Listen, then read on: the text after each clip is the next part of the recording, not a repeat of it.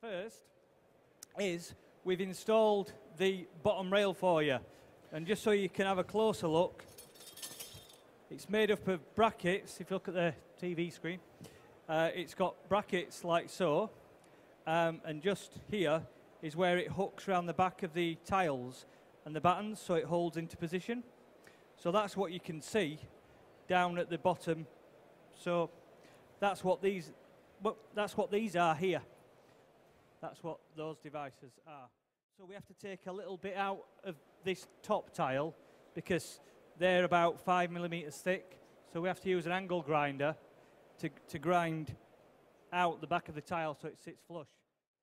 And the next thing we need to do is get the top brackets in.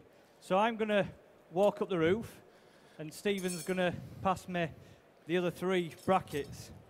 Phil, just while they're doing that, what are the key attributes as far as you're concerned with the, the, the, demonstration we're seeing this afternoon in terms of the equipment and so on?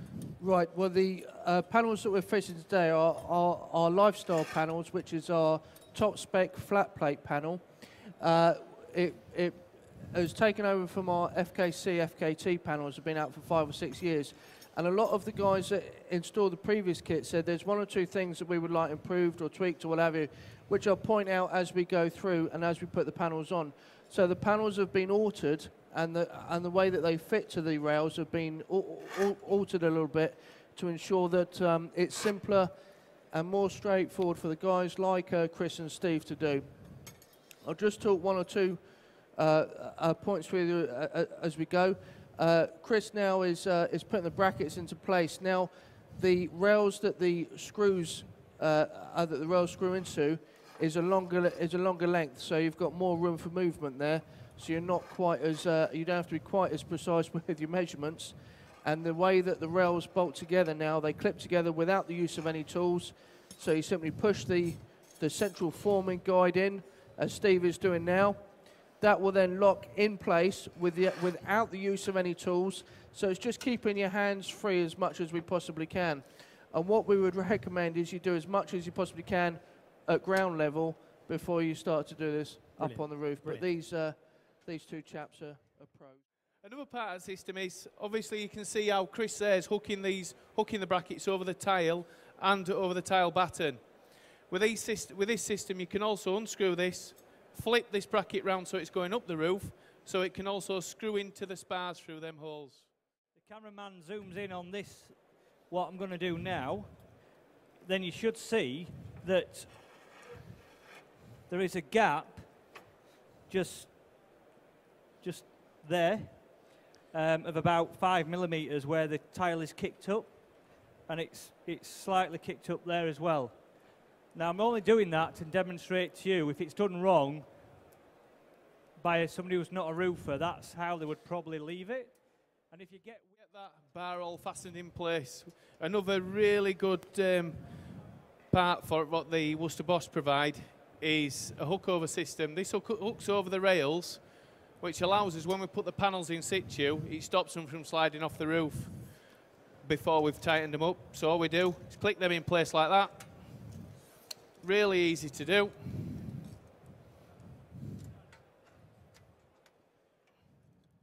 Right, so we're lifting this up Obviously, getting these up onto the roof, we'll use our winch, which we've set up, because working with HSE again, you've got to make sure you can't be carrying these up ladders. In fact, if you that's see someone right turning up with a ladder, you see someone turning up with ladders, that's the time to turn them away, isn't that's it? That's the time to turn them away, yeah. yeah. Like we say, we get get the winches set up. Once we get onto set, once every we've got all the bracket systems in place, we winch it, attach it to a winch, winch it to the roof area which we're at now, and then Chris will. I'm going to go up on the roof. Get onto the roof. You lower it down, and I'll off you, off top you go. end. Off Are you, going to keep on at bottom I'll end? keep on this time. Right, okay. What you've got to remember is this is like a sail. If you've got to keep on of it at all times and treat it with care, because if you get a big gust of wind, it can have you off the roof along with the panel, so you've always thinking about health and safety. You okay? And sliding it into there. Is it, do you want to get it in those bottom brackets? Just is it in here? Yeah. Has it gone in? No, I don't mean that. I mean on the safety ones. Is it in them, yeah? Yep. Okay. It's okay. Yeah. Be yeah, you okay? Yep. as we've shown there, that's a bit, that's a beauty about having these brackets in position. Once we get hmm. the panel on in place, even though we haven't tightened the brackets, it's not going to slip off the roof. That, um, the Allen key here, so it's been turned in, into position so it tightens the end up and it clamps the bracket down because there's a little lip here so it tightens it down onto this rail. So I've done that top and bottom. Do you want to tighten that into place, Chris?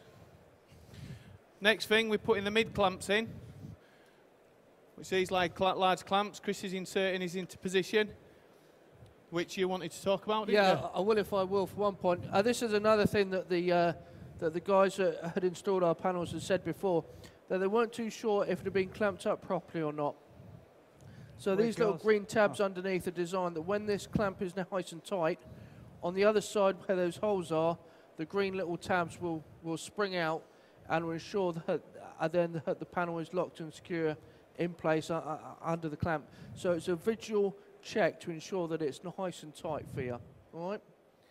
Great. Lovely. Thank Right, you. gonna- we recommend is we'd be looking at uh, one square metre of panel per uh, per 50 litres That of might- cylinder size.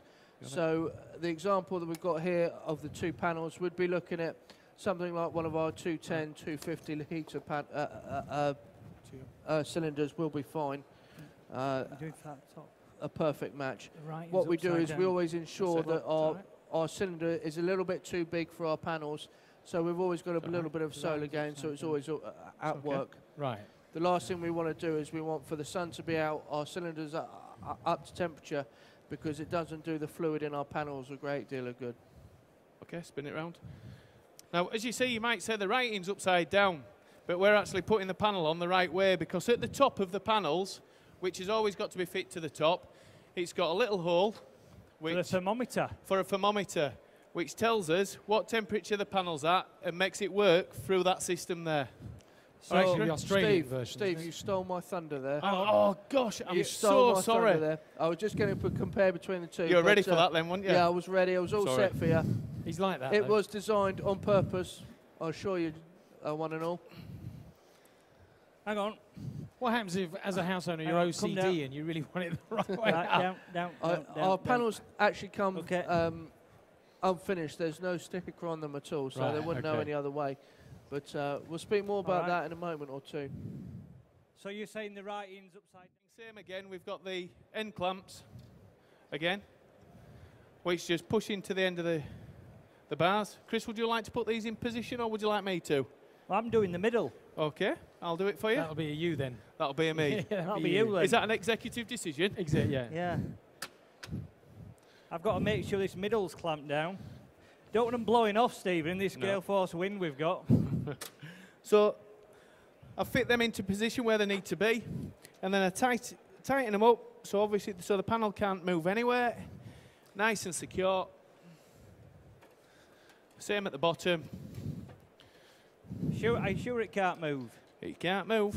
Can't move.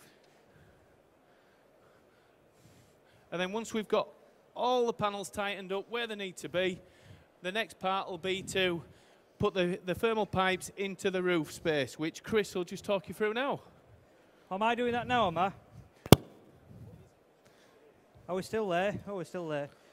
Keep managing to knock this off. So, when I've attached this, I'll let the. Um, we need one of these. It's called um, a solar deck lead, lead slate. And we need this to make sure that the penetration for the pipe, which goes through the centre, um, is watertight at all times. And also, this is made of um, silicon, so it will go up to very, very high temperatures. So it'll go plus 200 degrees Celsius. So that you need this to maintain its water integrity. So you would put this on the entry and exit point. So I've done one earlier. It's a different colour. If you have a look at this one here. So this one we've dressed it in underneath these tiles, so it's watertight. Got the covering there. The pipe would come out and it would fix in to the end of the panel. And we put another one of these, not just where Stephen's hand is, but a bit nearer towards the panel. So you've got a, a flow and a return or a feed and a return. Yeah. And then, then both ends where the pipes going into the plumber who will be inside the roof void, are watertight, and it's guaranteed for the full lifetime of the panels. So